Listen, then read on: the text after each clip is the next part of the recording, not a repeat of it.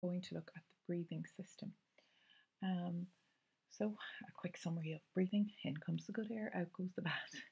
Um, for your leaving cert, you are going to need to know a little bit more depth, I suppose, than junior cert in terms of the role of the cilia in the breathing system, also the actual mechanism of inhalation and exhalation, and the role the brain has to play in that. Apart from that, there isn't that much new stuff in this chapter. So let's start by having a look at the structure of the breathing system. Um, so this diagram, I recommend you draw the diagram that's in your book, by the way, rather than this one into the notes. Um, but this one shows, uh, similar to your book, uh, trachea coming down here in the middle of the diagram, and that is breaking into your bronchi. Uh, and each bronchus then further divides into bronchioles. They're the thinner tubes, and at the end of the bronchioles, you have your alveoli, and that's the actual site of gaseous exchanged exchange where the gas is um, exchanged with the blood.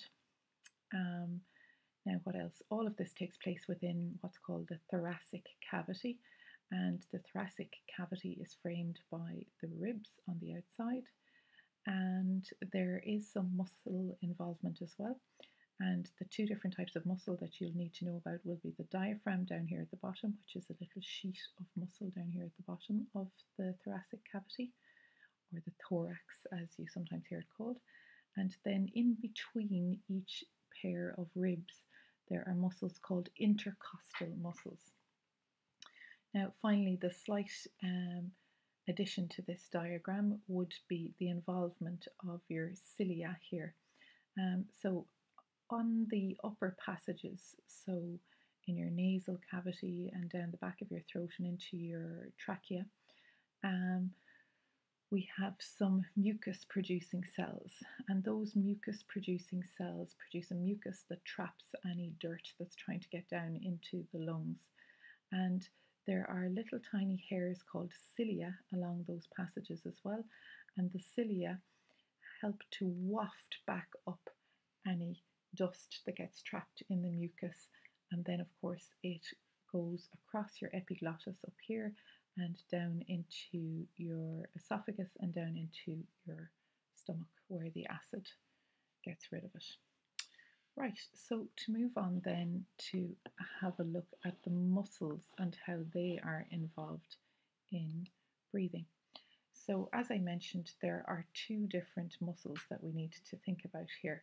But first of all, let's look at the whole chest cavity here. As I said, that's called the thorax, and um, it is defined by the ribs on the outside.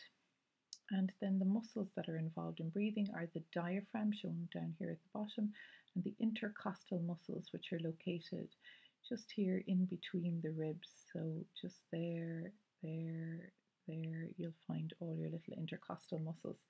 Over here on the other side, we have a side view, and again, you can see the ribs from the side, and you can see the lungs inside in them.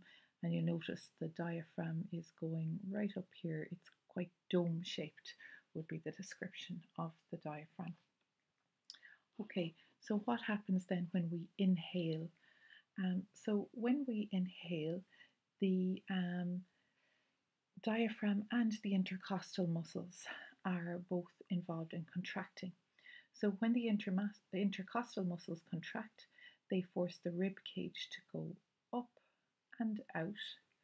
And then when the diaphragm contracts, it moves downwards. And all of those changes bring about a change in air pressure that we'll be looking at in a little bit more detail later and that is what causes us to draw in air into our thoracic cavity. So next thing we're going to look at there is the difference between inhaled and exhaled air. Now this isn't hugely important um, for leaving cert. You're unlikely to get any questions on the exact percentages. I've not seen that before. However, you do need to know that the um, oxygen percentage, as you might guess, is higher in the inhaled air. And of course, that oxygen is going into the bloodstream. So by the time you get to your exhaled air, it is has a lower percentage of oxygen. uh, whereas the carbon dioxide in the inhaled air is quite low in comparison to the carbon dioxide in the exhaled air, which is up there at 4%. Uh, nitrogen's unchanged because we don't really do anything with the nitrogen. And while there isn't that much water vapor in the air that we breathe in, um, that air is moistened as it goes into our lungs uh, in order to help with diffusing into the bloodstream. And when the air comes back out, it is quite moist, so there's quite a lot of water vapor on in that air. Right, so let's have a look now at the actual mechanism of gaseous exchange. So what's happening at the alveoli? Um, so here we have a picture of an alveolus and um, the air is coming in here at the top through your bronchiole, going down into the alveoli. Uh, this alveolus here then is the site of exchange of gases with the blood. Um, so importantly, the oxygen here goes into the bloodstream. This here is our capillary going along the side of the alveolus, and that capillary is carrying the blood from left over to the right here. So oxygen diffuses from the alveoli into the bloodstream and carbon dioxide diffuses from the bloodstream out to the alveolus and then up and out of the uh, bronchiole and out of the lungs. Um, now, why does that happen? Oh, sorry, just to look at uh, just a little summary of that again. So the air comes into the alveoli from the bronchioles. Oxygen diffuses into those alveoli and goes from there into the capillary. And once it's in the capillary, it goes up in the blood towards the heart. And then what's happening in the opposite direction? Um, from the heart vessels, you have um, blood coming down into your lungs again and that blood is full of carbon dioxide. So when it gets to the lungs, the carbon dioxide that's in the blood diffuses from the little blood capillaries out into the alveolus.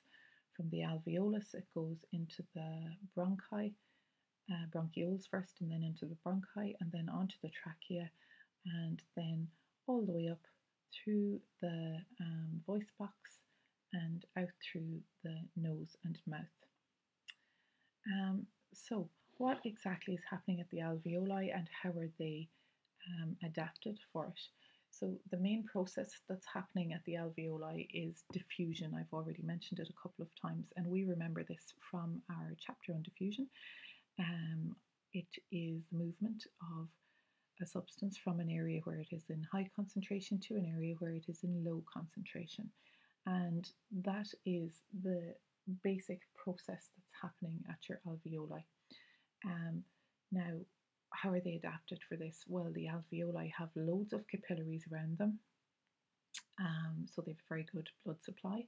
There are loads of alveoli, which increases the surface area, and the alveoli and the blood capillaries are sharing a common cell membrane, so it's a very um, thin surface that these gases have to diffuse across the alveolus. Another way of saying that is the alveolus is only one cell thick. Um, so those are your adaptations of the alveoli. Also, the air gets moistened as it goes down, which helps with diffusion. Now, what causes speech then? Um, it, this has never been asked before, but just for your own interest. Um, the air passes over the little folds in our voice box and it causes those little folds to start vibrating and then muscles pull on the cartilage that's at the side of those folds to change the pitch of the voice or if you're talking about changing the sound of the voice itself that would be as a result of the lips and the tongue changing their um, shape and orientation to each other. Um, now, getting on to the slightly higher level stuff, let's look at the mechanism of breathing. So, it, the basic principle of breathing is that gases move from high pressure to low pressure um, in order to try to equalize the pressure. So, how does that relate to inhalation or breathing in? Um, so, when we are breathing in, your diaphragm contracts. So if we look at our little diagram of our thoracic cavity here, when the diaphragm contracts, it moves downwards. You remember its shape was up like this as a dome, but it actually moves downwards. You can see that that's increasing the space inside in your chest cavity. Now the intercostal muscles also contract and when they contract, they cause the ribs to move up and outwards. So as those ribs move up and outwards, the overall change is that your chest capacity now, or your thorax, the amount of space in your thorax, is much bigger than it was. Um, if you've more space in there, if you've a higher volume in there, that will cause the pressure inside there to drop. And that lower air pressure causes the air to move in from the outside into your lungs. Um, what then happens when you exhale? Um, now, exhalation involves the muscles relaxing, so it's called a passive process. Passive meaning you're not using energy, the muscles are actually relaxing rather than contracting. Um, so, what is going to happen then when your alveoli, or sorry, excuse me, when your diaphragm and your lungs relax? So, when the diaphragm relaxes, remember it was down here, when the diaphragm relaxes, it goes upwards um, back into its normal arch shape. When the intercostal muscles along here between our ribs relax, the ribs go downwards and inwards, so down and in, um, which has the overall effect of decreasing the amount of space that you have inside in your chest cavity. Um, so if you decrease the amount of space or the volume of the chest ca uh, cavity, you are increasing the air pressure. And if you increase the air pressure, that shoves the air effectively out of the lungs. Now, um, how is the brain involved in all of this? Um, well, the brain actually sets the rhythm of breathing um, in an unconscious way. Um, how does it do that? Well, there's a region of the brain called the medulla oblongata, which is monitoring the amount of carbon dioxide in the blood that flows through it. Now, over a short period of time, we can actually control our breathing. For example, if we're singing or if we're doing an important reading and we need a little bit of extra air, we can take a deep breath and then we can control the release of that breath. But you can't do that forever because your brain actually just won't let you do that. Um, if you tried to stop breathing, if you held your breath, the carbon dioxide levels in your blood would rise, and that gets um, picked up by the medulla oblongata in your brain, and it sends out a signal to make you breathe really quickly or to gasp for breath. Um, now, a question that comes up fairly often is about the adaptations of the lungs for gas exchange, and I mentioned some of these earlier, but just to give you a list of them. Um, they have a large surface area, um, a huge surface area of alveoli up to 90 meters squared. And there's a short distance between the air and the blood here. Um, that is because they share a common membrane. If you remember, the alveoli and the capillary share a common membrane. Um, and then the walls of the alveoli are quite elastic as well. Um, and there are lots of um, capillaries around them, which is another adaptation for exchange. Um, sometimes it has come up as well how um, give an adaptation of the air, and the air itself tends to be moistened and warmed, particularly when it passes through the nose. So, if ever you've done exercise and you're told to breathe in through the nose and out through the mouth, the reason is that if the air passes in through your nose, it gets warmed and moistened more than if it passes through your mouth. And warm, moist air will diffuse a lot easier into your bloodstream than colder air. Um, now, the next slide is about transport of oxygen in the blood, and that's just going back over what we already know. It's in the red blood cells, um, and it is bound there to form uh, bound there to the hemoglobin in the red blood cells. Uh, don't be worrying about the extra 3%. And the next slide might be slightly confusing there, so don't worry too much about it.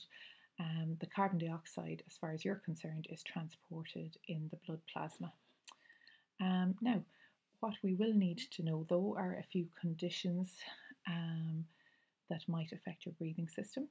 And here's a list. So we've bronchitis, we've emphysema, asthma, uh, COPD or chronic obstructive pulmonary disease, collapsed lung, TB, or pneumonia. Um, now, you need to know details on one of those, and the easiest one by far is your asthma. Um, so, the symptoms of asthma would be coughing or wheezing, um, not being able to get your breath, breathlessness, um, maybe tightness in the chest. Um, you will need to know the causes, and it's caused by the narrowing of the airways. And the airways or the tubes that are in your lung are narrowed because they become inflamed. And what causes the inflammation would be an immune response, an inappropriate immune response to uh, the presence of things called allergens. And those allergens might be pollen, um, animal dander, which means basically the hair and the fur on animals, maybe smoke or dust mites, and some chemicals, um, uh, even exercise, excuse the misspelling there. So, all of those things could be potential allergens, and allergens are particles or changes in the environment that cause this inflammatory response in an asthmatic's um, airways. Now, prevention and treatment. Um, well, prevention would be to identify what your allergens are or your triggers for your asthma attacks and just avoid them. And then treatment would be to use bronchodilators, um, and they're usually administered as inhalers and have a steroid element in them that helps to open up those tiny bronchioles. Um, and then another disease that you could look at might be emphysema. Um, but uh, as I said before, you really only need to know details on one, and asthma is probably the easiest of those. Um, so that is the end of the breathing system. And we'll stop our recording there.